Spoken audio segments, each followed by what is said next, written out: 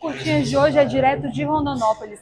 Isso porque a Comissão de Educação da Assembleia trouxe para cá o debate sobre segurança nas escolas. A ideia é discutir com a comunidade escolar e também com especialistas e autoridades alternativas para enfrentar esse problema que tem tirado o sono de pais e professores nos últimos meses, tanto pelos recentes ataques a escolas quanto pelo clima de terror que se espalhou com a internet.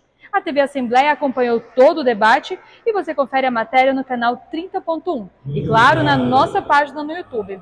No site da L também tem matéria sobre audiência e essa reportagem bem completinha com apanhados dos projetos de lei que tramitam no parlamento.